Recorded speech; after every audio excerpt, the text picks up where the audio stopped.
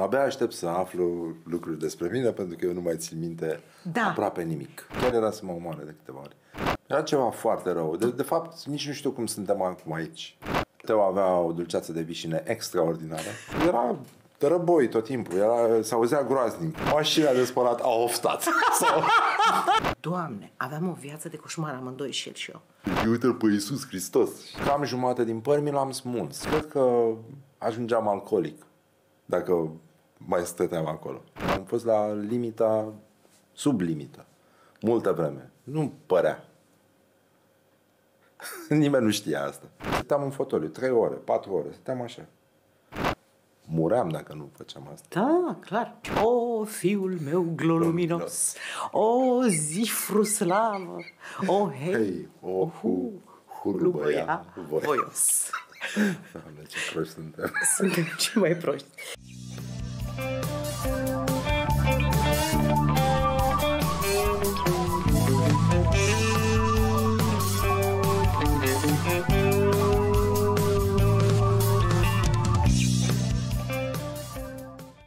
Și uite așa ne-am regăsit. Eu am zis că o să se întâmple asta, nu m-ați crezut. Glumesc, bineînțeles. Dar dacă tot glumesc, o să vă cer serios, dacă se poate, să dați un subscribe la canalul nostru de YouTube, Gând la Gând cu Teo, n-ar strica, n-ar fi rău. Invitatul meu de astăzi are multe vieți. Una dintre ele este strâns legată de a mea și vă spun cu mâna pe suflet că spun adevărat atunci când zic că datorită lui am recuperat o mare parte din viața mea. Face parte dintre cei mai importanți oameni pe care îi cunosc, importanți pentru mine sentimental și nu numai. Numele lui este Răzvan Exarcu. Este. Este. Aici, până aici, corect. Mulțumesc pentru invitație. Bună seara Dumneavoastră ție și invitațiilor. și telespectatorilor. da, abia aștept să aflu lucruri despre mine pentru că eu nu mai țin minte Da. aproape nimic. Eu am recuperat amintirile cu tine, pentru că la rândul meu le pierdusem și eu, în terapie și mai ales în nopțile trecute. Pentru că te-am tot visat și mi-am tot adus aminte foarte viu uh, felul în care trăiam acum 30. Noi ne știm din 80 ceva. Tu aveam vreo 13-14 ani. Da, ne întâlneam în grădina mare din Brăila. Tu aveai o semicursieră sau cursieră Da. rusească. Da. De asta mi-aduc aminte. Da. Și râdeam așa când ne vedeam, dar era mai mare decât mine și nu-mi permiteam. Cu un an. Da, un an, atât. Cu aproape un an. Și te respectam. Da. Și eu te respectam pentru sacul tău care se numea Chiril. Dacă ți amintești, era făcut dintr-o cămașă de-a tatălui tău, fiertat. Um, în Era care- făcut din mai multe lucruri. Dar în orice caz era aproape roșu, dar avea și o secțiune de uh, buline roșu, uh, buline negre pe fond roșu. Mi-l aduc aminte perfect. Ai venit cu el la mine acasă, după care am venit eu la tine acasă. Și una dintre amintirile pe care ți le-am uh, suscitat a fost faptul că atunci când părinții tăi ne-au lăsat să vorbim, să ne, ne depănăm, de parcă aveam ceva de depănat atunci, Da. tu mi-ai arătat cea mai mare șmecherie din viața mea. Părinții noștri ne puneau lăcățel pe telefon.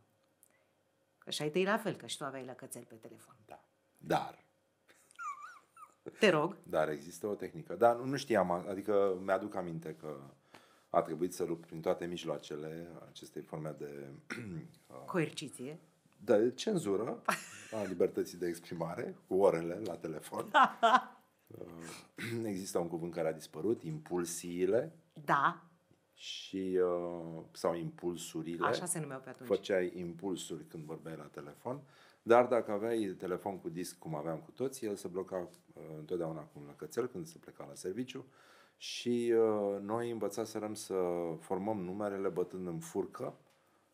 Nu, mă rog, fiecare număr trebuia bătut de un uh, de, de pildă. atâtea ori cât Ex- trebuia. De pildă, dacă aveai de uh, format 3-1-2, făceai tam, tam, tam, tam, tam, tam. Da. Și suna, culmea. Și suna. Și pentru mine a fost revelație că m-a învățat chestia asta. Îți dai seama că după aia am vorbit la telefon cum am vrut eu. Bine, era greu de obținut performanța asta, că mai dădeai greș în loc de șase, formai șapte sau invers și mai sunai în altă parte, te mai înjura lumea, dar până la urmă și azi te înjură lumea și nu mai... Da, bineînțeles. Noi, uh, oricum era o tehnică pe care nu toată lumea reușea să o stăpânească. Adică nu toți reușeau să, să formeze corect. Eu, și odată știu că exista undeva o, o legendă cum că dacă formez, dar nu mai știu care erau numerele, sunt la securitate. Și cred că și oh. existau legende din astea că îți răspunde securitatea. E unul de acolo care îți răspunde și nu mai știu dacă m-am lăudat, adică am mințit sau nu, dar fiecare dintre noi, cum se mințea pe diverse teme, spunea că a făcut chestia aia. Uh, și, și, și că a răspuns. Acum m-am adus zicea? aminte. Asta e, nu, nu, mai știu, nu, nu mai știu, dar mi-aduc vag aminte că am vorbit despre asta cu cineva și nu știu dacă eu am sunat la securitate și mi-a răspuns domnul de la securitate. Prostie, dai seama, n-aveam creier nici cât masa asta. Pe noi ne-a prins Revoluția împreună. Da. Noi am uh, locuit studențește în același apartament pentru că nu ne permiteam fiecare să așa și nici la cămin parcă nu ne-am fi combinat. Da. Și am zis, hai să facem într-un fel, să locuim sub același acoperiș, că noi am descurcat noi, lucru care s-a și întâmplat de altfel, pentru că Răzvan uh, e un tip foarte pașnic, dar extrem de inventiv. Uh, ca să vă dau un exemplu, noi aveam ceea ce se numea sticliada, e un fel de parafrază la Dacia. Cineva în casă bea. Nu știu, nu știu cine. Doamne, iartă-mă, na.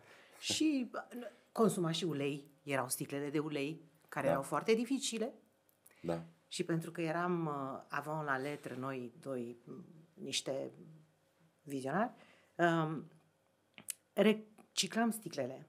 Și Răzvan a venit cu ideea, bă, de ce stăm să râcâim de fiecare dată eticheta de pe fiecare? Și ai venit cu ideea de a pune sticlele în cada cu apă călduță, pe care o încălzeam cu la mașina de spălat Alba Lux. Da, pentru că nu era apă caldă. Adică și de asta nici nu prea foloseam cada atât de des sau la chestiile la care se folosesc de obicei căzile. căzile. Da, acum nu, eu n-am, uh, a, nu, nu mai aveam amintirea asta în colecție, dar înțeleg așa că am prin miracol se ridicau etichetele la suprafață. Exact Extraordinar. Așa. După care ne duceam la drumul taberii 34 în spate. Tu aveai rucsacul, eu aveam o plăsucă și doamna de acolo, atent și chiar minuțios microscopic, analiza gura sticlei. Cele mai scumpe erau sticlele de spumant, care costau 3 lei. Da, asta mi-aduc aminte acum. Mi-am adus aminte acum. Și invariabil îți găsea o imperfecțiune cu coana aia. Da, nu se primeau. Adică atunci ecologia era foarte la început.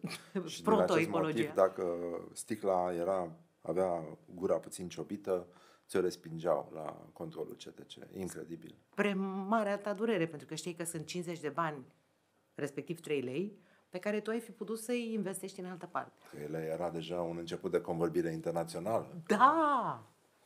3 lei era bani. Vorbeai. Vorbeai de bani. Yeah. Da, și presupun că aduceam tot sticle acasă. E, doamne, cum? Da, nu, nu mai știu.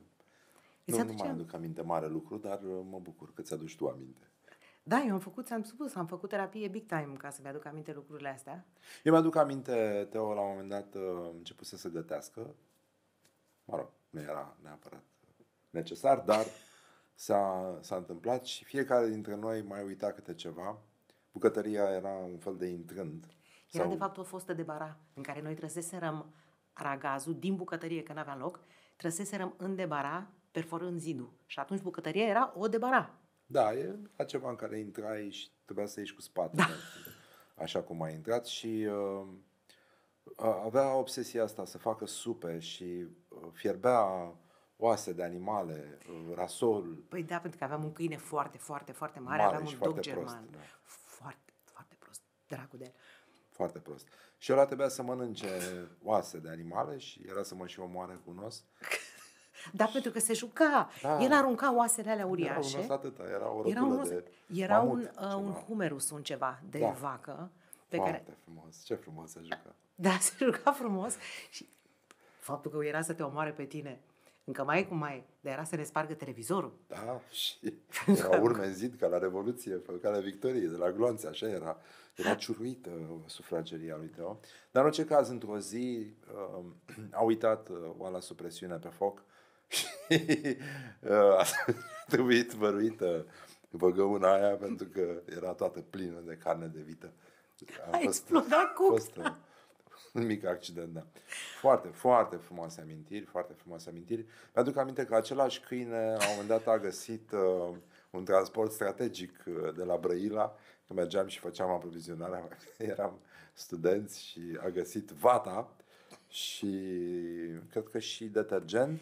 Au găsit vata, hârtie igienică și periuța de dinți. Adevărul că noi am fost proști, că am lăsat ușa băi, băi deschise sau o deschidea singur. Drăguțul de el La s-a cât e jucat departe. cu ele și când am găsit acasă un peisaj de iarnă așa de tare, ne-am bucurat pentru că nu mai era nici urmă de, de nimic, nici hârtie igienică, tot era făcut zdrențe și el era tăvălit în zăpadă ca în 101 dalmațien, un animal de câine, da. Dar era, chiar era să mă omoare de câteva ori.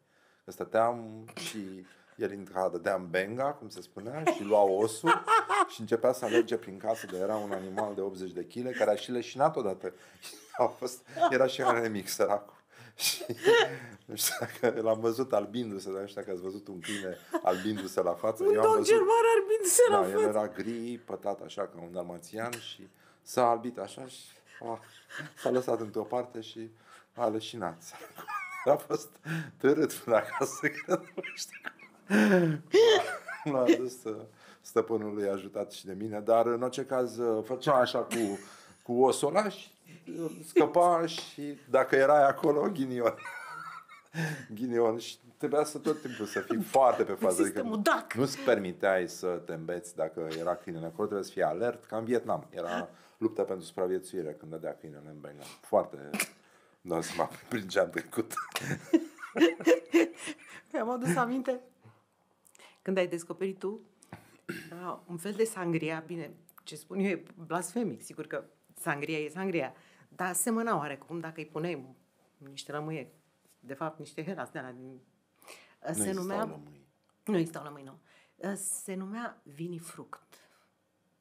Era, era ceva foarte rău. De, de fapt, nici nu știu cum suntem acum aici. Dacă stau să mă gândesc, a câtă chimie am băgat în noi din cele mai vechi timpuri, chiar este un miracol. Și noi zicem că acum Da, se da. mănâncă și se bea prost. Nu. No. Nu, nu, nu, numai mizerii. Nu știu, să spunem, să mergem până la capăt, să spunem ce am făcut. Da, Un, uh, mu- din pasiune pentru muzică, uh, pentru că la muzică merge și o băutură fină, uh, iar spiritul nu se poate bea așa. Am încercat prin pâine, dar tot avea un gust rău și Teo avea o dulceață de vișine extraordinară. Astea au fost primele cocktailuri pe care le-am făcut. Și în cazul în care n-ați știut, carmolul, Am încercat și carmol? Uh, nu, nu știu cum se, cum se numește în chimie când pui apă în ceva și el își schimbă structura și devine translucid. Ca uzo. dacă uzo. E, e un fel de uzo. Dacă răcești și pui un cup de gheață, Dar n-am putut, Jur trebuie că să- e cu anason. Tre- trebuie nu, să nici eu recunosc. n-am. Ăla N-am acolo reușit. chiar m-am, m-am De împiedicat fapt, și eu. N-am adevărul putut. adevărat a fost că noi râdeam, știi, ca proștii, râ- Da. râ- râdeam mult. Și tu ai spus, bă, zice, am auzit că există băutura care se numește adio mamă. Hai să încercăm, hai, că am zis că două felii de pâine găsim. Spirit era că vorba aia, Da. cadre medicale și ai tăi și ai mei, adică mama ta și tatăl meu, aveam de unde. Nu s-a putut în niciun fel, dar am râs, de-am crăcănat. Nu, pentru că erau coze, aia era o vreme când... uh, Nu puteam Adică noi veneam din vremea în care oamenii nu mai așteptau la alimentar, așteptau la farmacie să deschidă ca să-și ia uh, cele necesare traiului, adică spirit sau carmol, și cu asta se făcea o lopată. Uh, lucru pe care am vrut să verific. Am Vrut vrut să știu dacă se verificăm. poate face asta. Adică dacă trebuie să fii chiar, da, inconștient sau fără simțuri, da, foarte rău. Și foarte rău. noi, având în vedere că nu eram, am râzut, dar am aruncat uh, băutura Adio Mamă, Nu. spre marele regret al ambelor părți. Da, n-a fost bine. Și mai erau trabucele Da, intim. Numite, aș vrea știu să-l eu, cunosc pe știu cel, eu. da. Intim, trabucele intim. Când Da. mă întrebai tu de ce se numesc intim, Asta e, pentru că oricum puteți să faci orice cu ele, mai puțin să le Da. fumezi. Adică, n-aveai cum, Chiar, că erau ude. da. Erau foarte udă, da. Și atunci Răzvan s-a gândit să le bage la cuptor, pentru că, da, chiar era o idee, nu s-au putut uh, fuma nici așa. Noi țigări n-aveam, pentru că nu mai aveam de unde. La vremea respectivă încă mai prestam, că vorba era 18-19 ani, ce Dumnezeu să și faci. Și Răzvan, repet, extrem de creativ, uh, fenta realitatea imediată, în orice fel uh, ar fi putut. Deci amintirile din zona aia mie mi-au revenit cu o forță incredibilă, dându-mă pe spate.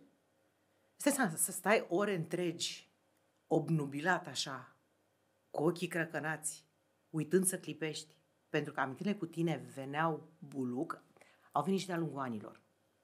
Pentru că, cum ți-am zis, prezența ta recurentă în viața mea, pe mine mă șochează și acum. Ăsta un exemplu. Așa, te rog. Mă duc la o ședință foto, eu la ședințele foto sunt ceva rău. Nu poți să discuți cu mine pentru că sunt uh, ieșită din minți. Nu le suport, mi se pare culmea. Nu mă duc la evenimente și nu pot ședințe foto. Am și eu limitele mele. Ședință foto. Du-te. Apare un domn stilist cu niște rochi atâta. Bineînțeles că m-am simțit vexată și am zis, domnul stilist, da, așa, într-o parte, zic, rochile astea e pentru mine? Și mi-a zis, Dudu e scumpă. Trageți dumneavoastră rochia pe dumneavoastră și când veți veni cu rochia priponită în șolduri, dar exact așa a făcut, știi? Că eu tonul ăsta l-aveam. Atunci discutăm. Pun rochia pe mine, miraculos, intră perfect. Opa! Mai și arătam bine. Bineînțeles, nu o să-mi cer scuze. Vă rog să mă iertați. Eu, înainte de știința foto și în timpul ei, nu. Păi noi ne știm. Eu sunt Moris. Așa? Păi zice, noi suntem prieteni amândoi cu Răzvan Exarcu. Iar apare Exarcu în viața mea. Iartă-mă, băieți. și tot așa. Scuză-mă. Cu Radu Anton Roman fi iertat. Stăteam de vorbă, noi aveam discuții cam de pe la 11 noapte până la 5 dimineața. Și pe la 2, după niște timp ah. petrecut împreună, Bun. răsăreai în discuție, fără discuție. Mai devreme sau mai târziu, sigur... Uh, ceva o fi făcut. Și ceva faci. Da. În continuare, lumea vorbește foarte mult despre tine. Știi că eu mă laud cu tine big time. Mulțumesc. Se pare... Adică e o încurajare, o iau ca pe o încurajare. Să, să țin sus munca bună. Da, foarte frumoase amintiri. Și mi-am mai adus aminte uh, de ceva, hmm? vechea ta mașină de spălat care stătea pe hol. Da. Pentru că, iarăși, reciclarea mergea foarte prost, dar nu mai era folosită, un Alba Lux, Ala. Infect. Infect. Uh, era locul în care stătea câinele dog german. Dobitor. Înainte, acolo stătea un cocker care a trebuit evacuat, pentru că dogul german făcea pipi pe cocker. Uh, era un mod de a atrage atenția cine e bărbat în casă. și după ce cocărul a fost ud zile în șir, au zis hai să dus la tata. Da, să ducem cocărul la Brăila.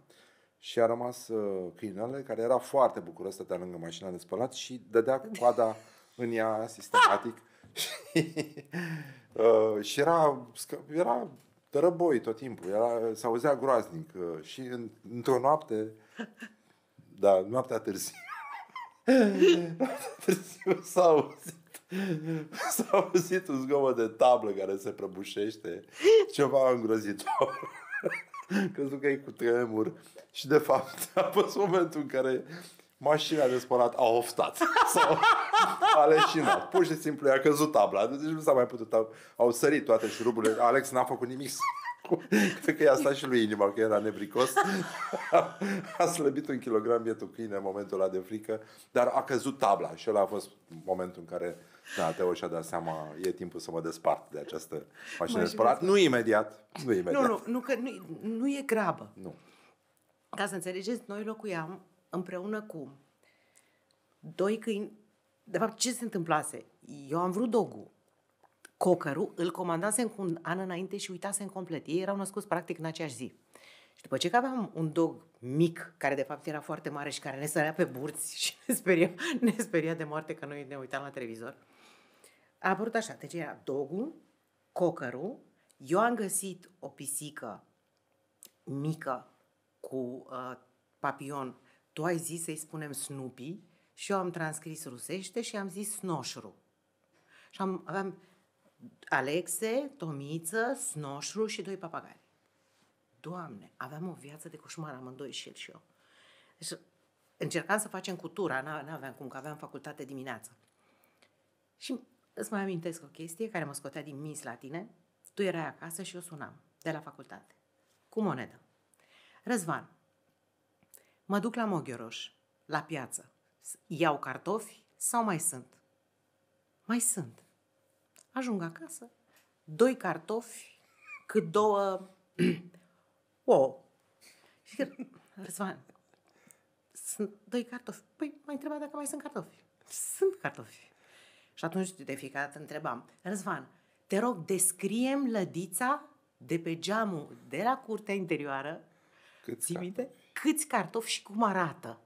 Adică încearcă să mi dimensionezi, ca să știu să facem uh, piure cu ulei. Mi-am adus aminte o poveste din vremurile alea, când uh, un cuplu de fotografi uh, făcea foamea și descoperise metoda asta de supraviețuire.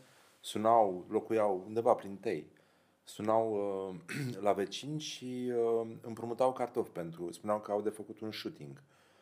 Și Trebuie să cartofi? poseze niște cartofi atunci și până merg, până așa. Na. Da, aveți cumva doi cartofi și luau doi cartofi de aici, doi cartofi de aici, patru cepe și în, ce, în Nici felul o ăsta tocăniță. încropeau de, da, de o tocăniță. Foarte... Foarte ingenios. Foarte deștept. Dar de câte ori merge? Păi te mai duci la alte scări. Măi, că na, nu poți să-ți cunoști vecinii într-un bloc de 10 etaje, să-i cunoști pe toți. Eu știam, eu, în, după ce ne-am uh, despărțit uh, și m-am mutat în cămin, eu am uh, supraviețuit o bună bucată de vreme și numele mă ajută, fiind apropiat de ortodoxie. Știam toate hramurile sau hramurile bisericilor importante din București și mergeam și mâncam la, Da, la hramuri. hramuri. Și mai începeam și de, la pomeniri, mai, mă mai duceam pe la biserică, tot timpul era câte o băbuță cu ceva. De ce să nu primești un pic de Doamne, pomană? iartă Nu știu câte toxii infecții. Am traversat da, dar uh, iată-mă aici. după toate Mai acestea. puternic ca niciodată. Da. Un microbion, Da. a, microbionul, uite atâta. Oilo, Da. ca pe mână. Îmi place microbion. Microbion și fibron. Da. Se zice. Ah. Asta e. Printre Așa. invențiile remarcabile ale lui Răzvan, meliga, vă spuneam, meliga cu uh, grăsime pe care vă recomandăm celor tineri și foarte tineri care au uh, un colesterol între limitele în care doctorul nu face că sunt și medici care se uită pe analizele tale. Oh, Da. ce e? A, nimic, nimic, nu vă faceți griji. Știi? Aia îmi plac mie mult. Și te-ai mutat în cămin. Care a fost momentul în care te-ai tuns? Când ai hotărât să renunți la...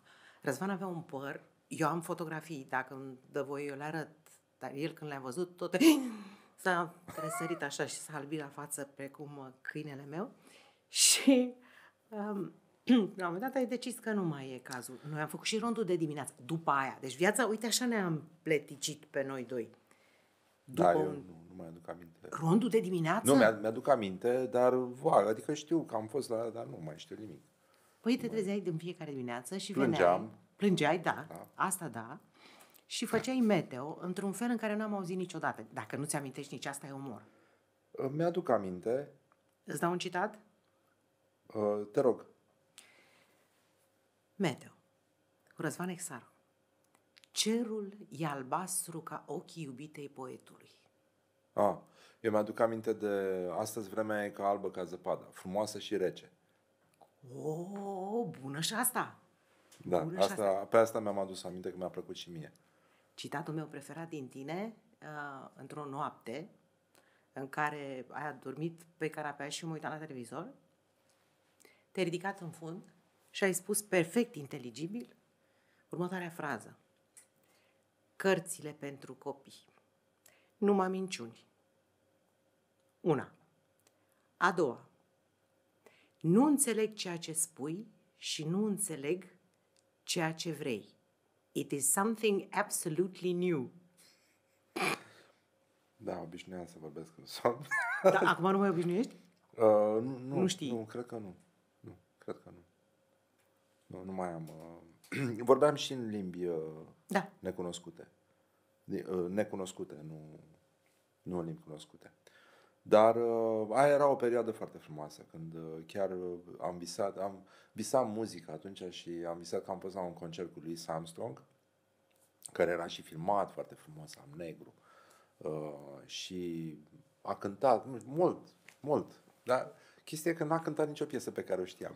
Asta m-am trezit așa, zic, wow, ce Bun, fac eu ce cu asta? repertoriu are am, ăsta? am trezit re- realmente uh, cu un respect nemăsurat pentru creierul meu, pe care n-am putut să-l pun la treabă foarte tare, așa, în general, dar am rămas cu sentimentul că aș fi putut face ceva cu asta.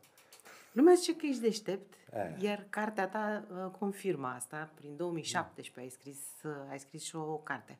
A, Fericirea e un act de siguranță, care act de siguranță are o simbolistică nebănuită. Da. S-a transformat și în podcast. Exact. Uh, Da, e un, um, e un obiect care am văzut că rezistă. L-am văzut uh, back in fashion. uh, Se poartă acum. Ah, uh, Ma- Mai- Miley Cyrus? o cheamă? Da. A venit, dar nu mai știu ce era, premiile BAFTA sau ceva. uh, Cu o rochie făcută doar din ace de siguranță. Era Am văzut. da, anul ăsta. Piercing-uri, chestii, am văzut că se poartă. Dar uh, la Brăila însemna că te pregătești să traversezi Dunărea și ca să nu ai cârcei, purtai un, uh, un act de siguranță la slip. Slip? Acul de siguranță era medalia pe care o primeai pentru merite deosebite în activitate de gospodină, mamă, mătușă, bunicuță și vecină. Și toate femeile din copilăria mea aveau pieptul tivit cu ace de siguranță și mi se pare că e un obiect foarte drăgălaș pentru că e rotunjit, dar dacă îl desfaci din greșeală, dracii te găsește. În Da, sensul da, da. Pune mâna Și și de aia. plătește că toți... mi s-a părut că seamănă puțin cu, cu fericirea. Are legătură cu asta.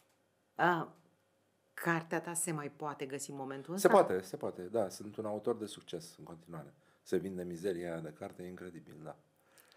Da, da, da. Genul programului e o mizerie. Știi că așa Da, da, da, știu, știu, știu. Așa spune la radio, da. Da, se găsește și are succes și mă bucur foarte mult.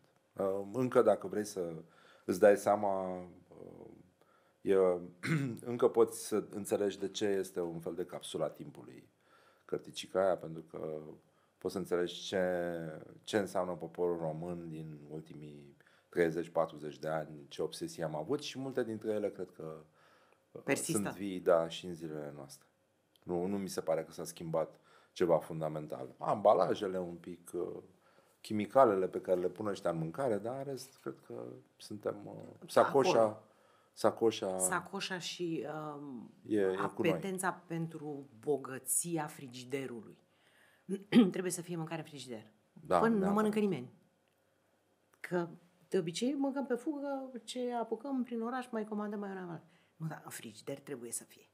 Și m-am surprins acum câteva zile și vă- chiar voiam să-ți povestesc, m-am surprins cu parizer, cremvurști. Sunt în 88.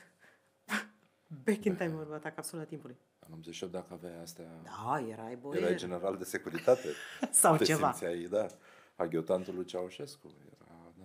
Și E, e totuși ceva rău. Îmi dau seama că am rămas cu genul ăsta de nostalgie care mie mi se pare foarte uh, păcătoasă uh, dacă n-ai cunoscut-o. Noi ne permitem că avem alea, ni se văd la analize, parizărul și crembuștii de pe vremea lui Ceaușescu. Dar ăștia mici să fie nostalgici după uh, momentele alea, nu, nu, Nu. cred că e ceva recomandabil. Bine, nici noi nu prea suntem. Eu una nu prea am Nu, nostalgie. nu mi se pare nimic drăguț Nu. în epoca aia. Nu. Și m-am uitat la, Nimic. la poze, la documente video. Bă, eram urâți, îmbrăcați rău. Rău. Cred că eram și mai negri la față. Și triști, și amărâți. Da. Și, da, Și răi. Și răi, dar trebuie Asta să aici recunoști. s-a păstrat. că- Da, asta e perenă, dar aveam un fel de a ne coagula în funcție de convingeri, pentru că aveam încredere să ne spunem bancuri politice atunci. Și asta, într-un fel, ne-a, ne-a ținut. Că bancurile cu ceașcă erau Dumnezeu. Le spuneam, aduți aminte, la în practică, ne duceau să culegem roșiile alea stafidite și care ne murdăreau din cap până în picioare. Pe voi la Murgoci, era făcut Murgoci. Și el zice că a fost nasol. Păi stai puțin să fi văzut la Bălcescu cum era. La noi era bulău, direct. Da, dar și mie îmi confiscau fesul. în Păi n-aveați voi fiecare cu fes. dimineață. Da, noi nu aveam voie cu fes. adică la mine la liceu, nu știu, în alte licee, în București, puteai să vii și fără uniformă, dar trebuia să purtăm uniformă, matricolă, Da? căciulă rusească sau șapcă. Iarna. Asta era regula și fesul meu ajungea în fiecare zi la cancelarie și mama trebuia să meargă să îl ridice de acolo dacă nu mă duceam chiar eu și eram certat. Și eram un element uh, subversiv, se pare, pentru că aveam fes. De obicei, uh, căciulile rus- rusești lăsau foarte mult păr, pentru că erau foarte proaste, părea un iepure, dar nu cred că fusese niciodată iepure căciula aia și picau smocuri, așa, era ca la tifos. Uh, Așa cum arătam eu când uh, m-am tuns prima dată, i-am uh, povestit lui Teo, aveam, uh, aveam acest orgoliu de a nu mă lăsa tuns de frizeri, pentru că aveam părul foarte lung și în fiecare zi când plecam de la radio, mergeam pe calea Victoriei și lângă hotelul Continental era o frizerie care încă există, dar atunci era mai mare și mai, uh, mai somptuoasă, cu frizeri din aia de modă veche, cu mustățile făcute așa și se uit, erau, mă rog, Hipsterii de azi. da, stăteau așa, lejer, mai fumau o țigară, se uitau în vitrină la oameni și eu mă opream pentru că mi se părea amuzant să mă opresc, cu părul despletit așa, uh, vis-a-vis de Novotel, Da. acolo.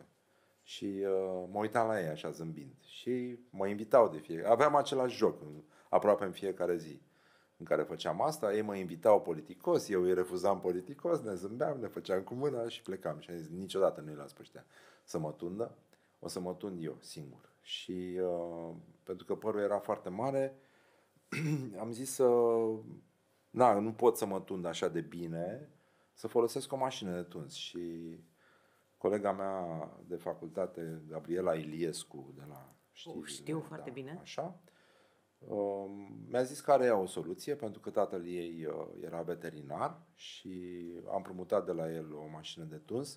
Bine, ea fusese folosită să tundă oi uh, al- și alte animale. Seri- Da, da, da. Oi și Era, alte era ani- mecanică, era o mașină de tuns cu, Da, nu, nu știu cum se numesc, în fine, dar Cu brațe. se acționează mecanic. Existau și prin uh, frizerii din alea încă. da. Da.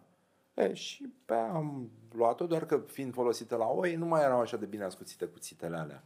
Și cam jumătate din păr mi l-am smuls și arătam ca după tifos. Eram așa cu niște smocuri, un- unele crescute, nu foarte lungi, dar, na, adică nu reușisem să iau așa, dar uh, în anum- anumite zone chiar era smuls părul și după aia am zis hai să corectez chestia Ce asta să corectezi? cu aparatul de ras.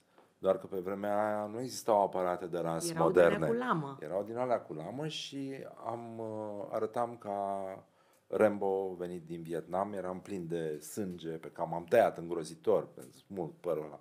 Era, uh, și am venit așa la radio și se pare că eram o priveliște îngrozitoare și oamenii s-au mobilizat, dar în timpul turei, și s-au dus undeva la Hippie Hippie Shake sau ceva și mi-am cumpărat o bandană. Eu zic, Răzvan, te rugăm mult să o porți pentru că nu, Nu. putem să ne uităm la tine.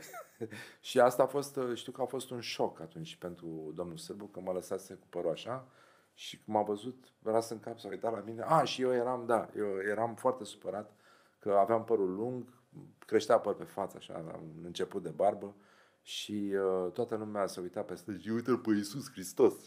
Oh, Și am zis, uh, ok, hai să terminăm chestia asta și m-am ras în cap, dar la barbă n-am renunțat. Și arătam mult mai dubios, arătam infinit mai dubios și am obținut exact, bine, a trebuit după aia să-mi uh, tund și barba, să-mi rat barba, nu, mai- nu mai știu exact ce am făcut, dar uh, ăla a fost momentul în care am zis, nu mai, gata, atât pentru mine, mulțumesc mult. Cred că după aia a mai crescut un pic așa, dar uh, niciodată foarte mult. tu ai făcut uh, limbi străine, ai făcut franceză, engleză, Da. uh, după care te-ai făcut uh, bucătar. Ei, după aia am făcut la radio, adică am făcut radio Așa. în timpul facultății. Ex- așa, știu că doar Și da, și... eram în același program. Nu, ca să după aia am înțelegeți. făcut comunicare, mă rog, PR, publicitate, în fine, viață la țară, Chiar voiam să te întreb. Mi-ai dat odată telefon și mi-ai zis, bă, mi-am Da. luat un an pentru mine. Răzvan e tipul care... șomaj se numește. Asta voiam să te întreb. Eu voiam să, să o pun altfel. Răzvan este tipul care își permite să aibă Nu, o nu-și viață permite. cu pauze. Răzvan era inconștient. Și Răzvan uh, mă sună să-mi spună că s-a mutat la țară, că și-a luat un an pentru el și că acum, printre multe alte lucruri, produce uh, două tipuri de vin. Uh, blanc alb și blanc negru. Pentru cei cu o copilărie nefericită, blancul nu poate să fie decât alb, că de aia se numește blanc. Ei, nu. în, în Giurgiu și în general în Teleorman, da, există acest soi hibrid, blancul, care poate fi și alb și negru, ca dovadă că noi suntem în continuare grădina Maicii Domnului, că doar ea, drăguța, ne-a binecuvântat. Foarte, foarte important, da. Atunci am descoperit uh, farmecul vieții la țară, mi s-a propus să devin primar și chiar m-am gândit o vreme, Doar că doar că mi-am dat seama că sunt total incompetent și că oricum, m, parcă totuși nu, uh, mai bine nu. Și viața la țară s-a încheiat pentru că presupun că a fost un moment care a declanșat uh, decizia. Bă, nu mai... Nu, nu, nu, nu era bine și cred că ajungeam alcoolic dacă mai stăteam acolo. E- n- N-aveai cum să, Aveau rătănii? să te ferești. Nu, nu, animale n-am avut. Am avut o grădină, dar cu timpul a fost pustiită. Am avut coasă, uh, am cosit o vreme, mi-am adus coasă din, din Austria, mi-am cumpărat, am venit Oh. cu o coasă, cu, cu tot cu coadă, am intrat într-un Închipui cu ferometal din Austria. Coasă are și coadă, că altfel ar fi... Nu, nu, complicat. nu, coada puteai să o iei de aici, dar am fost atât de psihopat încât am zis să-mi iau oțelul ăla. Și? Exista un mit în zona Bran, am mai încercat eu niște ferometale de pe acolo să găsesc uh, o, o lamă de coasă ca lumea, din metal nemțesc, dar alea se dădeau primele. Adică chiar era, eram foarte serios pe treaba asta. Și uh, în Austria n-am putut să refuz și mi-am luat și dita mai coasa. Și Era- cum te-ai întors? nu mai știu, au niște calibre din asta, am luat-o pe cea mai mare. Și am avut coasă, am, aveam un, uh, un fel de buzunar din asta de pus la cingătoare în care aveai ciocanul de ascuțit coasa, o nicovală mică pe care o înfigeai, că așa se face. Ai o, un fel de nicovală mică, ascuțită, cu un picior ascuțit, o înfigi în pământ și pe aia bați coasa cu ciocanelul de bătut coasa, pe care îl porți aici și ai și piatra de ascuțit. Superb. Eram Chitit. la zi și s-a uitat vama și ea, de ce, ce face Asta domnul? voiam să te Am întreb iarbă și la acasă, vama am asta. iarbă. Da, Dar m-au lăsat acum, na, nu e interzis să intri cu... Dar eram totuși pentru niște... Pentru o mașină care revenea de la schi și o coasă, părea, și era și coada aia pusă așa. Nu știa că nu cumva era chiar montată coasa pe coadă. Adică, așa eram de, de mândru de ea.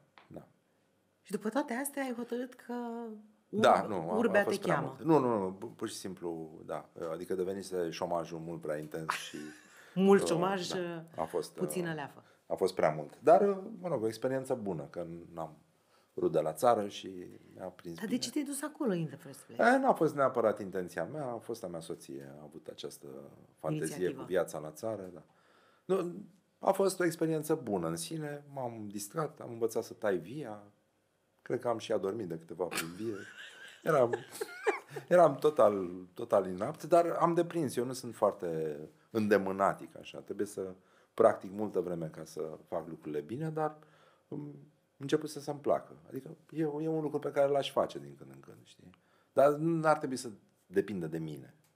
Și putea să coordonez foarte bine echipe de... Mult mai bine. Da. Mult mai sănătos se poate face prin telefon. Am, am făcut și brachiu, uh, aveam cazane, mi-am, uh, mi-am, mi-am comandat un cazan. de Din la- Austria. Nu, nu, nu, de, din Corcova, de la Bulibașa din Corcova. El mi l-a făcut, era să-l și omor de altfel, fără să vreau. Am fost să, să filmez acolo. Da, da, da. Și cum era să-l omor pe... Domnul Șerban Dâmbovicianu de la vin- vinurile Corcova. Da, știu. Așa mi-a făcut trampa cu, mă rog, a și pus o vorbă bună, să pună aramă și să nu... De-aia bună Da, știi că se mai pune plumb, că așa se... și e păcat. La fund și uh, era un cazan foarte bun. Chiar făceai, am făcut marfă foarte bună, cu multă, mult rachiu am făcut. Și uh, uh, filmam și mi-a, mi-a dat uh, uh, mi-a dat ciocanul care îi băteau arama, dar băteau Bulimașa. ca meșterii japonezi, da. Eram la ei în atelier. Da? și bă, băteau secvențial. Uh-huh. Și erau atât. Nu știu, ceva de genul ăsta. Și eu că îl țineam așa și el se învârtea pe lângă mine și după aia în filmare am văzut că a fost un slow motion că am trecut atâtica pe lângă tâmpla lui. Zic, oh, doamne, nu. un, un om extraordinar, foarte, foarte mișto și el și familia lui. Bine niște... că e bine. Da, acum nu mai e la fel de bine, dar nu contează, nu, nu e din vina mea. Da. adică, lucrurile s-au, da, a, a cedat schimbat. că era în vârstă, da. Dar uh, nu, nu, nu eu. eu. Da. nu, nu pe tura mea. Da, e incredibil. Absolut incredibil, da. Da, și am făcut, uh, am făcut foarte multă marfă cu cazanul meu. Mi-am comandat și unul mic de, de voiaj. voiaj. Nu, așa îi spuneam, chiar era de voiaj. Da, da, da. Avea 20 de litri, era mic, puteai să-l pui pe aragaz. Făceam, făceam marfă cu el foarte bună. Și aia din, când spui marfă, când înseamnă că o vindeai? La, uh, nu, nu vindeam, nu. Era nu. pentru... Pentru uz consum da, propriu. Da, da, și dădeam la oameni, foarte... Am făcut multă... Din multă ce? rachiu. Uh, și din prune, dar nu numai din prune. Se poate face din orice. Fructe în grădină, da. Și pe ăsta mic îl foloseam uh, la restaurant.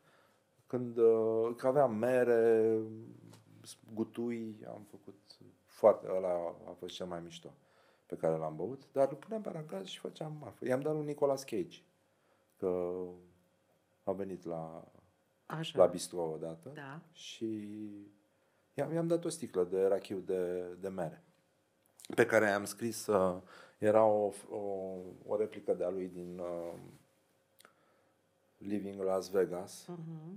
You can never, never uh, ask me to stop drinking sau ceva de genul ăsta. Cred că îi spunea el gagici.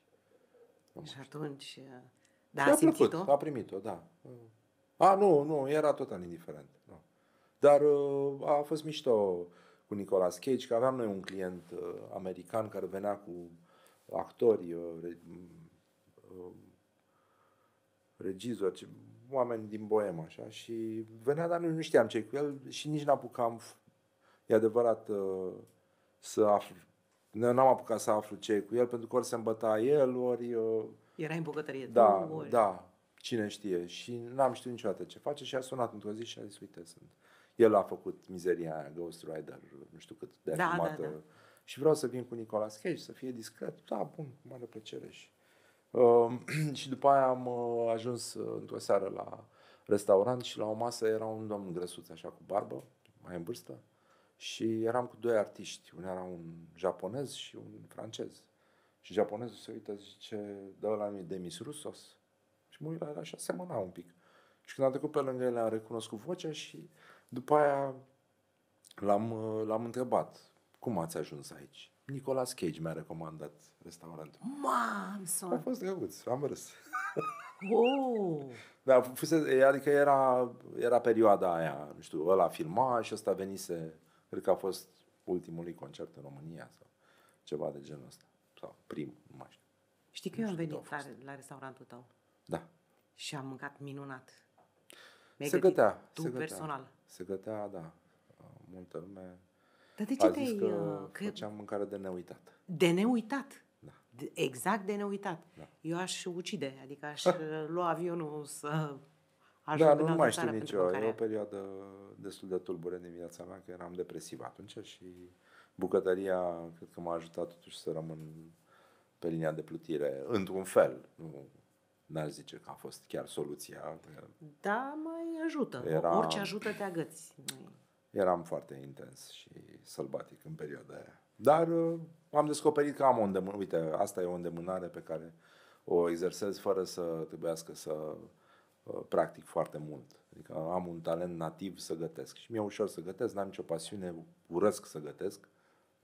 Tot ce este, te chinuie și în general nu-mi place, să leneș. Și uh, totuși mâncarea îmi iese, cum a, mintea mea e făcută să gândească în paradigma asta.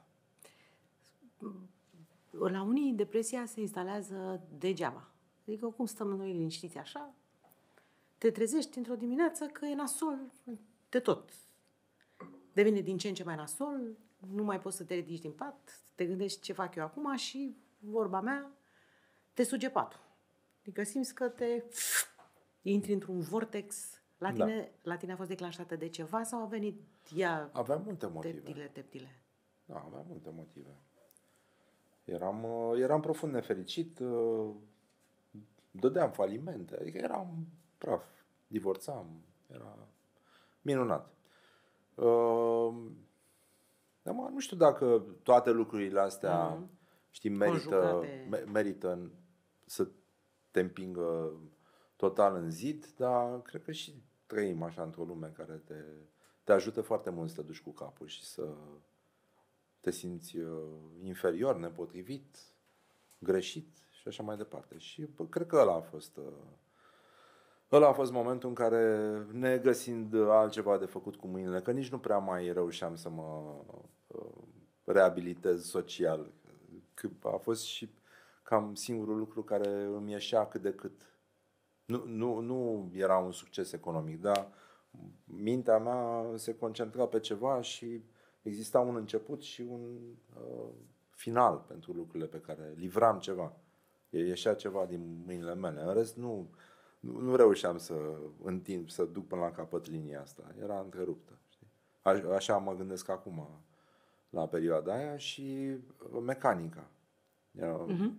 Asta vorbind și eu mai târziu la, la terapie, am descoperit că ajută. Așa cum poți să te duci să noți sau să faci, dacă reușești să te ridici din pat, Ai. să te smulgi din fotoliu. Eu stăteam în fotoliu, trei ore, patru ore, stăteam așa. Dimineața, de exemplu. Pur și simplu stăteam, fumam și nu mă mișcam. Nu pot să spun dacă, nu mi-aduc aminte acum la ce, Doamne iartă mă gândeam, probabil îmi plângeam de milă sau Dumnezeu știe ce făceam. După care, cu un mare op așa, mă duceam la bucătărie și acolo, de acolo veneam după 15 ore. Și cam aia era viața mea. Dar uh, faptul că mâncarea aia nu avea, reușea să nu aibă nicio legătură cu starea mea, mie mi se părea admirabil. Era absolut miraculos că mâncarea aia era mai bună decât orice altceva aveam eu atunci uh, în minte, în suflet.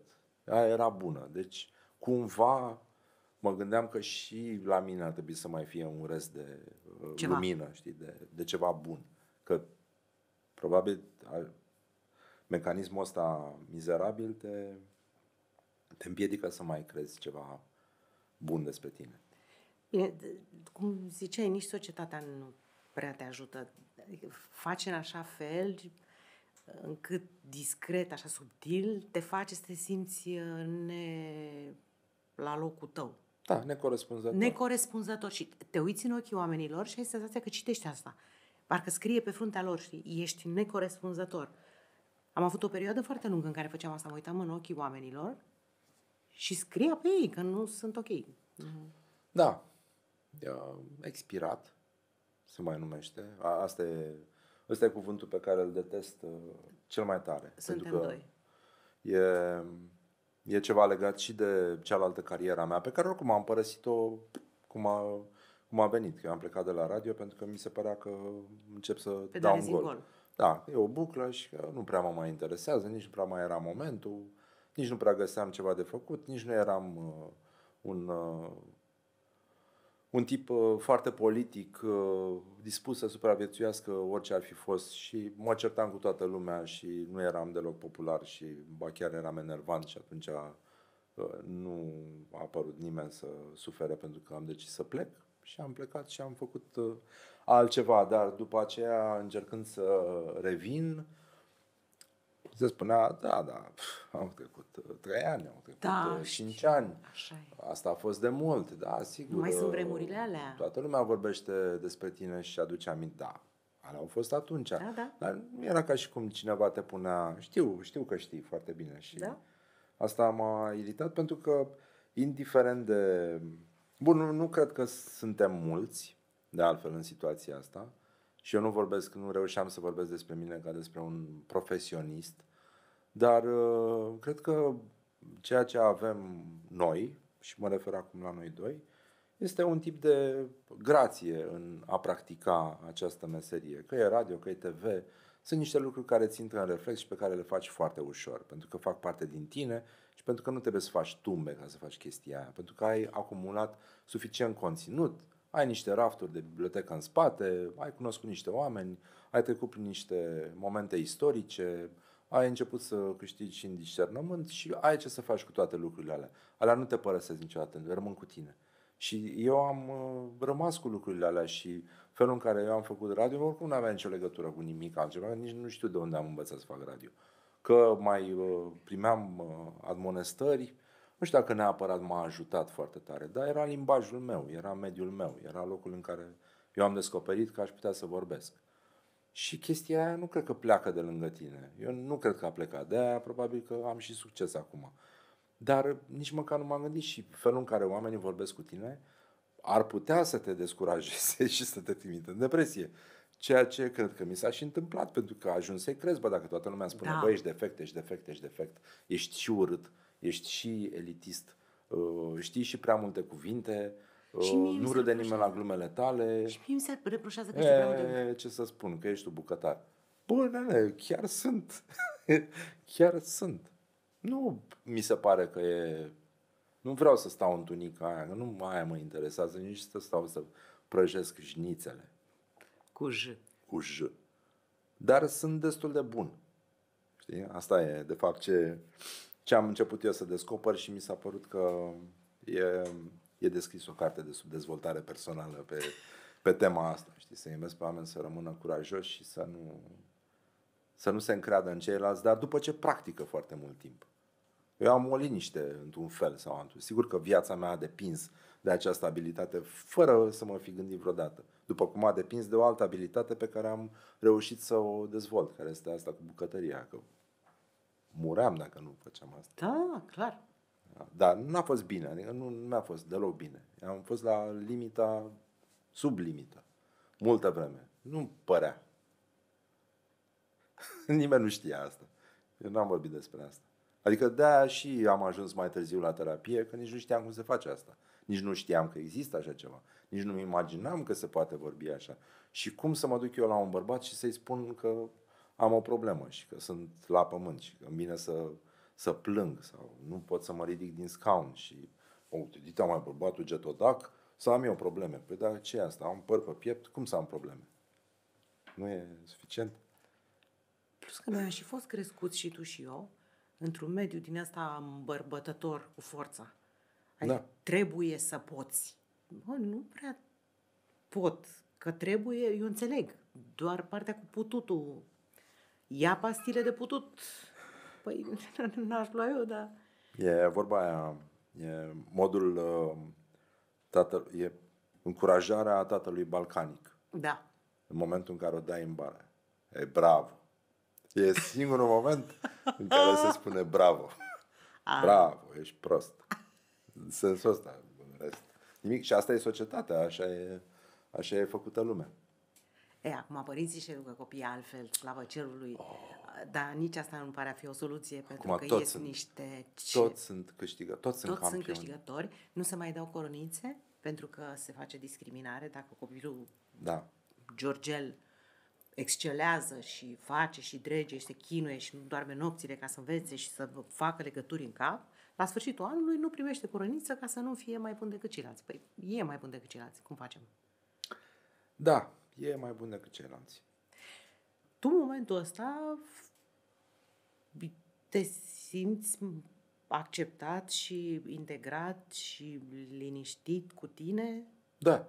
Bun. Dar e, e doar problema mea, ca să zic A, clar. Nu e ca și cum uh, uh, mai, mai păstrez acest gând și mi se pare că e un subiect foarte bun și cel legat de vârstă și cel legat de competențele pe care le câștigi, dar pe care nu trebuie să le afișezi, pentru că există o anumită categorie de, nu știu, profesioniști sau oameni uh-huh. care Ostentativ? Uh, practică ceva. Și care sunt ostentativi? Da, și care spun, uite, eu sunt bun, eu fac asta, eu, eu fac lucrurile alea, dar le fac pentru că mi-e simplu să le fac.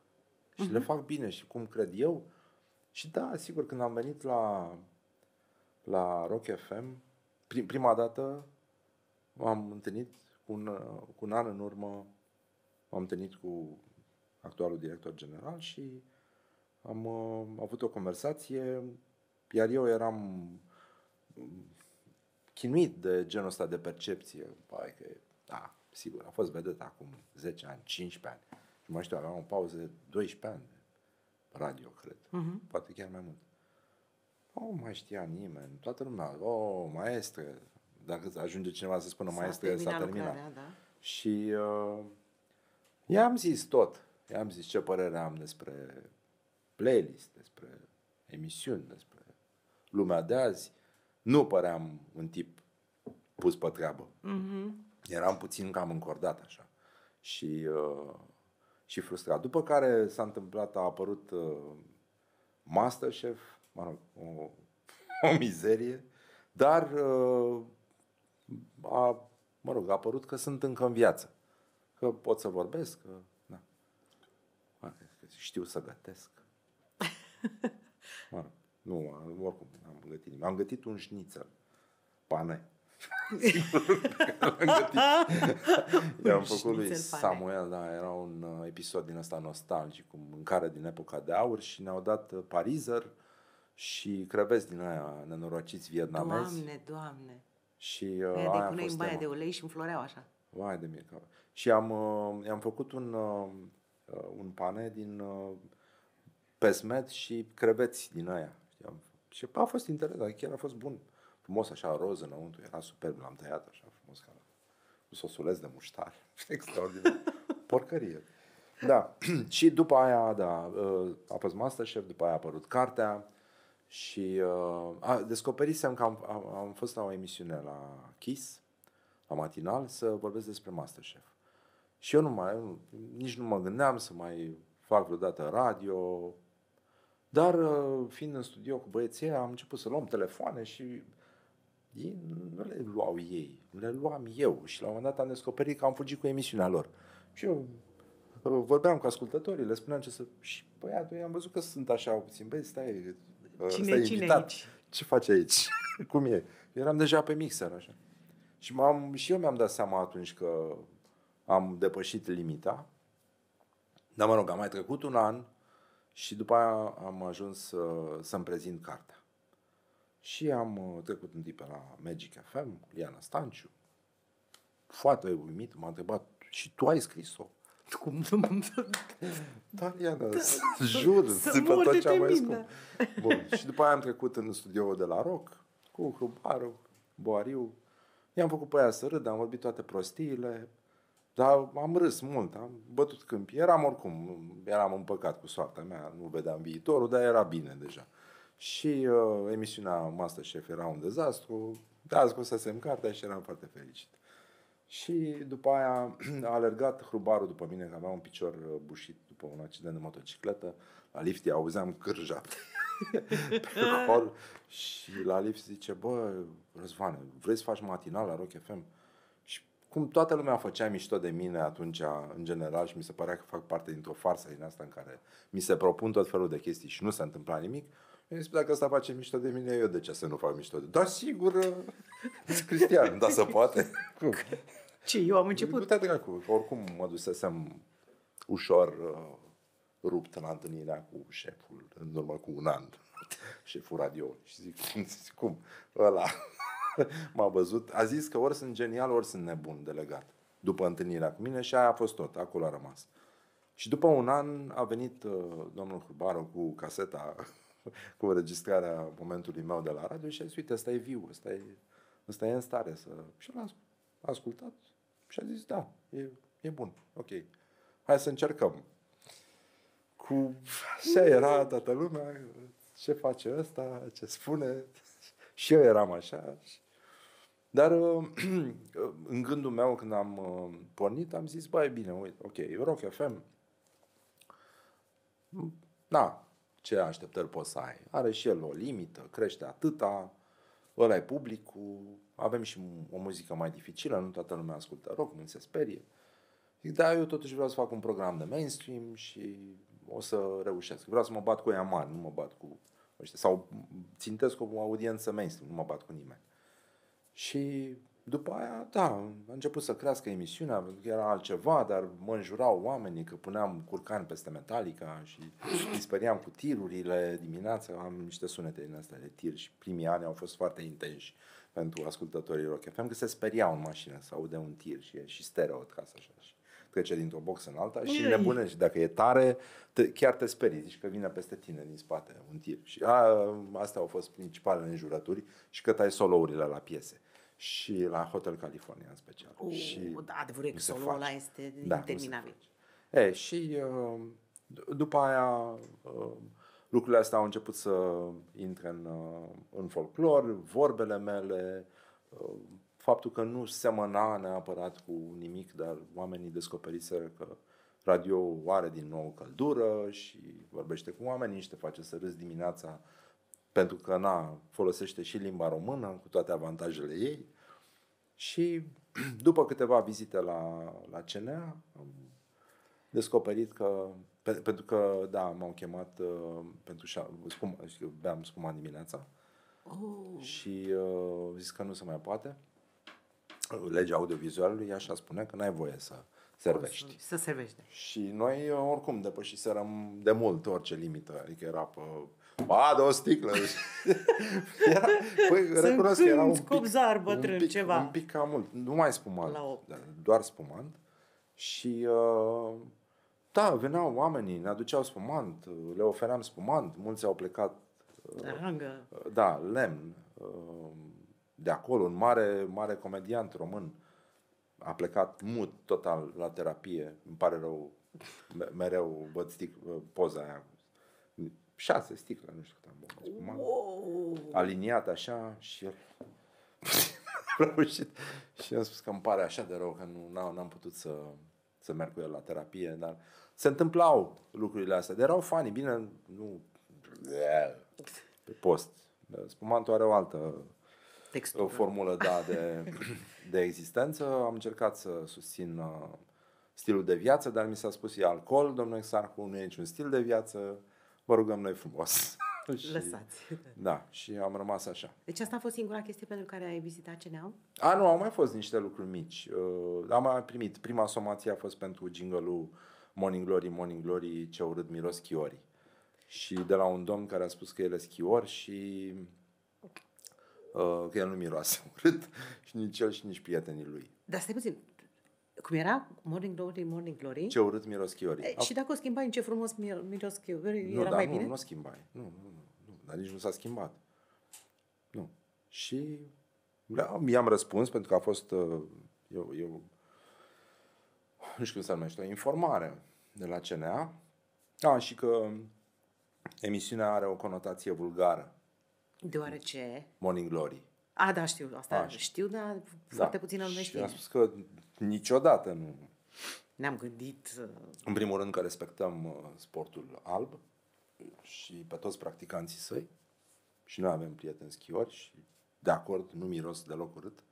Dar asta a fost un răspuns redactat împreună cu colegii de la Legal. Și uh, numele emisiunii niciodată conotații vulgare. E vorba de pasiunea mea pentru gastronomie. Sigur? Morning Glory fiind acest panac de apă din sud-estul Asiei, care face parte din lucrurile pe care le-am uh, gustat și le-am apreciat încă din copilărie și n-am putut să mă despart de acest nume și de aceea l-am L-am... atașat, da, uh, numelui programului. Ba chiar și vieții tale. Și asta a fost Da. răspunsul și mi se pare foarte frumos. Toată lumea a fost foarte mulțumită. Ascultătorii te înjură pentru că, în afară de sunetele despre care A, nu, vorbeai- nu, nu, acum mă iubesc. A, bun. Acum mă iubesc. Și copilașii și copiii vorbesc în, uh, în rime, uh, le spun copiilor, le spun părinților când îi roagă să facă ordine în cameră că acest program este o mizerie. Da. Da, da, da. da. Se, se răspunde, da. Se răspunde în uh, Una dintre preferatele mele a fost vocabularul ăsta al nostru. Morning Glory, Morning Glory, cât trăiesc nemuritorii. Da, Aia pe mine m-a atins. da, și aia și mie îmi place. Și aia, da. E, e foarte bună și nu, mai, nu, mă, nu vă mai băteți ca chiorii.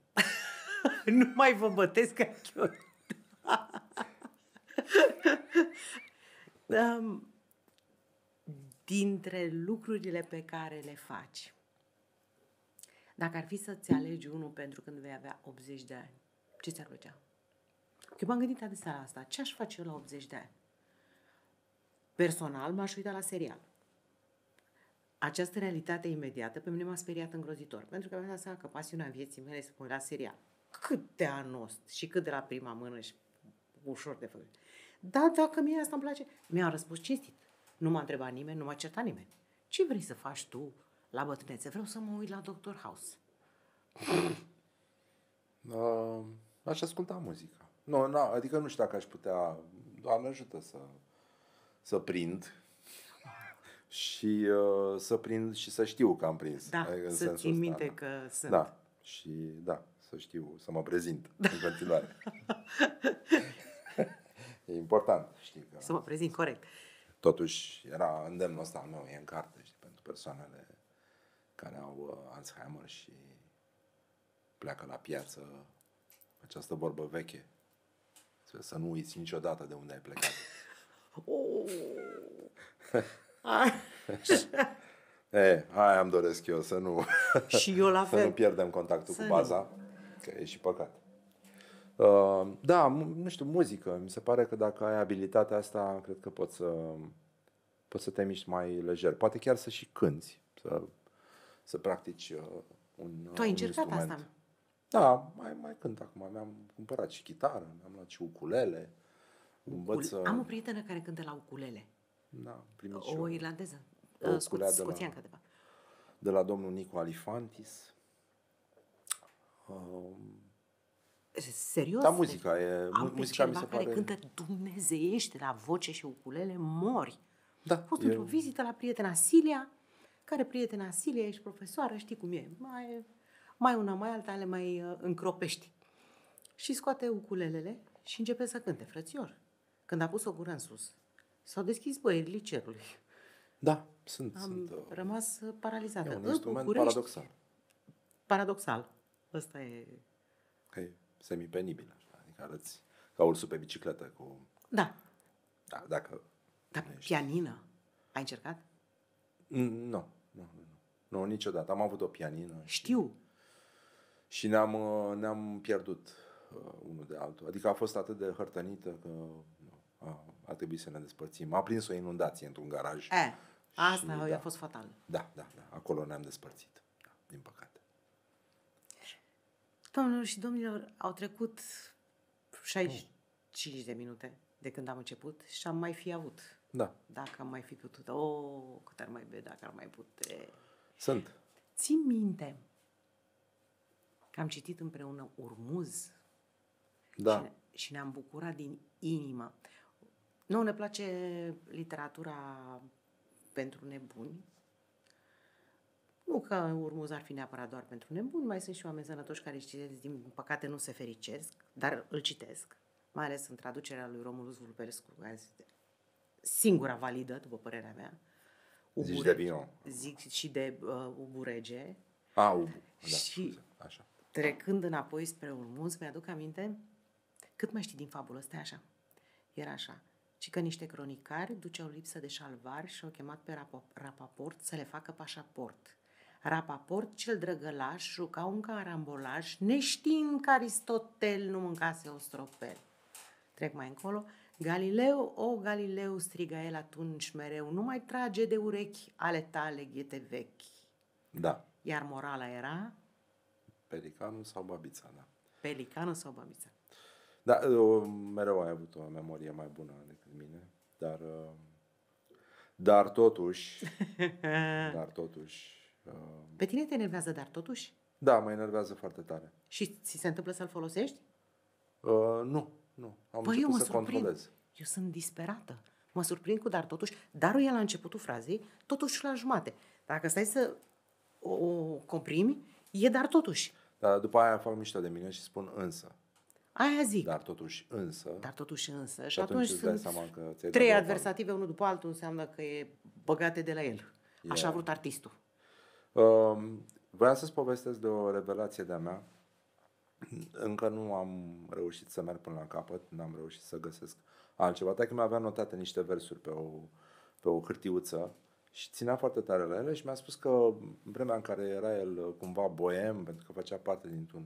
Era înainte de teatru de păpuși, era în armată și umbla pe la Lido, uh, prin locurile astea în care se adunau oniriștii, uh-huh. boema capitale și le-a scris dictate de poetul însuși la Lido sau, nu știu, la piscină acolo. Știi? Da. Și uh, versurile erau foarte subversive la vremea aia și uh, erau așa, tupilați prin iarbă, 500 cu barbă, trag și rag. Deasupra asta poza lui Baruch Spinoza. Dacă zice sobă, 500 aprobă uh, și este sau baltă sau mâna cealaltă. Uh, mai, mai departe nu mai știu, e un poem uh, destul de lung, mai sunt și altele. Uh, am descoperit că, mă, cercetând așa, că domnul Valeriu Oișteanu mi-a spus că ar putea să fie uh, un uh, poet român din cercul oniriștilor, care îl cheamă Vintilei Vânceanu, și care a plecat în Austria și a revoluționat uh, teatrul de avangardă din Austria. A, mai, a scos niște volume, dar a dispărut din peisajul nostru. Și uh, am... Uh, din când în când m-am întâlnit cu povestea asta, că ți-am zis că au o muze- muzicalitate aparte și Da. sună așa și îmi pare că nu știe nimeni de ele.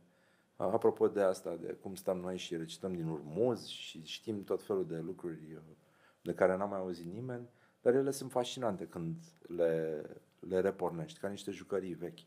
Și stăteam odată la o petrecere, mai țin minte pe domnul Mihalevski, profesor de franceză, Da, da. semăna puțin cu Artaud, avea Da. o față bântuită și era foarte mișto, și venea la Măcinat petrecerile așa. noastre. Și eram amândoi foarte bine într-o cameră și nu știu care dintre noi a început, nu vorbeam neapărat, dar stăteam, ascultam muzică sau nu știu și a, tupilați prin iarbă și celălalt a continuat, 500 cu barbă și ne-am uitat. Deasupra stă poza, lui Baruch Spinoza. Și am recitat, pe vremea Mamă, o știam. fantastic. Și zic, "Băi, dar de unde știți asta? Păi, l-am cunoscut pe ăsta. Îi se spunea, nu știu cum, da, mă rog, acolo a rămas. Și după aia mi-am adus aminte de un prieten de-al meu din Brăila. Era basist. Am cântat într-o vreme împreună, care era și el angajat ca și mine la combinatul de celuloză și hârtie și care într-o ședință de partid s-a ridicat și a spus Asta. tupilați prin iarbă, 500 cu barbă, trag și rag, deasupra stă poza lui Baruch Baruch Spinoza și l-au luat acolo. și când am auzit asta, la mulți ani mai târziu, m-am aflat pentru ce a fost dat ăsta afară de la combinatul. Zic, uitasem și eu poemul ăla. Zic, Doamne, ce, ce mă urmărește asta? Și într-un fel, știi, uite, așa din când în când, așa cum am făcut acum și cu tine, exercițiul ăsta de memorie, mai răsare câte ceva și îmi dau seama că, da, se pare că am în spate o viață interesantă și Doamne ajută să fie și asta la fel de interesantă. Ce urmează? Toată lumea ne întreabă, presupun că și pe tine, urmând un algoritm din capul meu, de ce nu scriem o carte despre toate lucrurile pe care le știm? Pentru că nu le mai ținem minte. Da, da. Că noi am scrie, adică nu e ca și când despre, adică o biografie așa, să fie evident tot ce am făcut, de ce am făcut, să ne explicăm noi pe noi. Uh, Dacă am putea, am face-o. Noi nu mai... Zicem să rămână că ne prezentăm corect încă la Da. 51 strop, dar uh, la un moment dat, cu ajutorul prietenilor, cu ajutorul Sau al inteligenței altor- artificiale. Inteligența artificială, aia nu ne știe, credem că nu ne știe. Nu ne știe. Dar uh, cu ajutorul prietenilor încercăm să ne facem un puzzle și poate la un moment dat po- ne apucăm amândoi și scriem o carte despre, despre lucruri. Deja am început, povestind ce tocmai am povestit. Am povestit mai multe decât uh, le-am fi imaginat, dar știam că se va întâmpla așa. Sunt atâtea pe care aș vrea să vi le povestesc. Sunt cel mai frumos cadou pe care l-am primit vreodată în viața mea. A fost de la Răzvan. Pe scurt, povestea asta așa, când eram copil am primit o carte care se numea Alice în țara oglinzii și pe care am învățat-o pe din afară. Uh, Este o carte absurdă, evident. Uh, Vă recomand poemul Vaca de Mare și Dulgheru, ca să înțelegeți. Um, Carte care mi-a fost furată din casă la un moment dat, acum foarte mulți ani, și m, pe care Răzvan, prin 80, și- ba, 90, și a găsit-o și mi-a oferit-o din nou. Îți aduce aminte asta? Da, asta da. Da. Și Era pentru... friglind. Era friglind. linsoase zăvi se tot girau, gimblau un ob, numai minsoare borogăvi, Când momii sor de șciob. păzea vrag fiu de trâncăvici, fălci care mușcă, gheară rea, Minunat. hâdul bolbor zboară spre aici, frumoaznicul. Păzea. Doamna Frida Papadache. El spada o luă cât ai clipi, lung îl cătă pe scârțălat. Popas făcut la dum-dum-dri pe gânduri cufundat și, cât pe gând el sta hăt dus, cu ochii în flăcări, trâncăvici, venea șuflând halop pe sus, volvor prin gros de siș. Un doi, un doi, ca în oase moi, graval tăiși străpunse, zgrunț, mort îl lăsă și tigvai luă, glapă înapoi zglobonț. Și-ai omorât pe trâncăvici, o, fiul meu gloluminos, o, zifru slavă, o, hei, Hei, o, hu, hulubăia, voi. voios. Doamne, ce proști suntem. Suntem cei mai proști. Această notă, zic să închem aici, că ne ia Da, dar vreau să-ți aduc aminte, Te rog. pentru că știi stupoarea mea în fața istoriei se, E infinită. Te trebuie să mai fac cadou o carte foarte frumoasă. Se numește Arca lui Noe Da. și e o carte construită la Muzeul Țăranului Român pe vremea aia, pe vremea Irinei Nicolau, care, by the way, a făcut o carte cu toate uh, inscripțiile de pe zidurile din București de după Revoluție. A ieșit și le-a notat pe toate.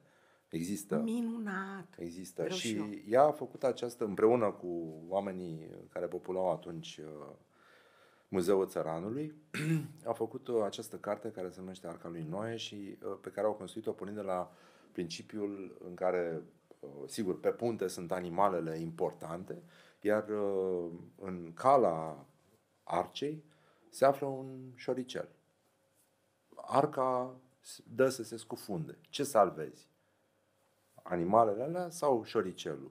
Povestea mare, asta pe care o vede toată lumea, sau povestea mică neștiută? Și au zis, "Șa- salvăm șoricelul. Și sunt niște povești foarte mișto, cu niște nunți apocaliptice din Oltenia. E o poveste, o călătorie scatologică a domnului uh, Neagu Giuvara cu, cu trenul la Craiova, în care Neagu se Scat- înjură, se înjură îngrozitor, îngrozitor. Este minunat. Și uh, ea, ea uh, a, a adunat uh, lucrușoarele astea și mi- a, asta, e, asta e principiul, știi? Ce salvezi? Este aia mare sau... Și pentru mine istoria seamănă cu ceva ce mi-ai, mi-ai povestit tu. Erai cu prietenul nostru comun, Răzvan, Uh-huh. și stăteați așa la o intersecție pe lângă universitate. Și tu ai zis, uite pe ăsta la șarșinel în Dacia aia roșie. Și el s-a uitat și a zis, care roșie? Cam asta e trecerea timpului pentru mine. Cam, cam aici suntem, da? Mă bucur că, Și că suntem. pentru că ai uh, adus aminte de carte, uh, ți-am pregătit o carte a lui Pivot, la care o țin foarte mult. E în franceză, este Dicționarul amoros al vinului, Ah, foarte drăguț. pe Mulțumesc. care m-am gândit că o să, o, uh, de care m-am gândit că o să te bucuri. Eu m-am bucurat, trebuie să recunosc, pentru că sunt tot felul de uh, trimiteri în vari direcții. Uh, Viața ta nu va mai fi la fel în momentul în care mulțumesc. îți vei cumpăra o sticlă Da. bine simțită. Da, e foarte important. Uite, să spun și eu o poveste apropo de vin, că o să-ți placă. În- Înțeleg, adică bănuiesc ce urmează, dar uh, am, niște, am niște prieteni care importă vin din Italia și importă vinuri foarte uh, importante. Uh-huh. Și au de-a face cu producători foarte selectivi, care și, au și recolte foarte mici și alocă niște cote pentru fiecare țară, pentru distribuitori unici în fiecare țară și am mers uh, la un uh, mare, mare producător de uh, sangiovese, un moș nebun, care stă de vorbă cu tine și brusc îți pune o întrebare din Pinocchio. Și dacă nu știi, nu-ți mai dă vin. Du-te tu, Și ăștia au învățat Pinocchio cu disperare bineînțeles. și au fost foarte încordați la întâlnirea cu domnul, care face un vin, adică, nu știu, cel mai ieftin vin pe care l-am băut eu de acolo e la 500 de euro sticla. de aia entry level. Oh. Nici nu e mult. Dar via lui este o poezie, are o nevastă din asta, biolog, care crește plântuțe astfel încât via să nu fie nevoie să fie stropită și așa mai departe. Și i-a plimbat, le-a arătat fiecare plantă. Doar că se oprește brusc. Eu nu, așa și zis, Doamne, când ne întrebă din Pinocchio? Da, se uitau unul la altul și încercau, se ascultaseră unul pe altul în avion, uh, pus întrebări din Pinocchio și au rămas așa și nu se puteau bucura de absolut nimic pentru că le era frică să nu vină întrebarea din Pinocchio și n-a venit nicio întrebare din Pinocchio și au rămas așa plecat traumatizați, foarte fericiți că le În cadru și așa să se da. fi întors peste umăr. Fiți răguți, o întrebare din Pinocchio n-aveți? Nicio, că doar așa? nicio întrebare. Ei au încercat să aducă Da, vorba, vorba. de Pinocchio, să vadă că știu. Știi, era un fel de... Știu, tovarășa, știu. Nu, nimic. Nici un pic. Ca să înțelegi că lumea e în continuare misterioasă și frumoasă. Minunată. Doar să stai să te uiți. Am încercat odată să folosesc și cu asta închei uh, uh, Da. o discuție normală. Cineva mă ruga să scriu un text și zice, bă, dictează-mi dacă tot. Și zic, bă, bă bag așa, în acest moment inefabil, cu tare, cu tare, cu tare. Lumea nu mai știe ce înseamnă inefabil. Deloc. Nimeni din jurul meu zic, ai mă, las-o. Și zic, "Ui, eu o testez pe asta. Și m-am întors către auditoriu și am întrebat, boss, ce înseamnă aia inefabil? Nu s-a ridicat nicio mână, să mi-am dat seama că eu sunt uh, vetustă, respectiv caducă și uh, m-am încălecat pe așa și v-am spus povestea așa. Am fost alături de Răzvan Exarcu o oră și mult. Foarte mult. Da, Mult prea mult. a fost frumos. Dar Acum- uh, vreau și eu uh, să rog, calific. Te rog, te rog, Deci, apropo de inefabil, iertați-mă, te rog. um, un prieten al unui prieten al meu a făcut un raliu, făcea un raliu pe lângă Tulcea, legendar. Și foarte mișto raliu, participare internațională, splendid, premii, mișto, adrenalină. Și a venit un unghi de-a lui după, după ce s-a încheiat și a zis, ne poate felicitări. A fost execrabil.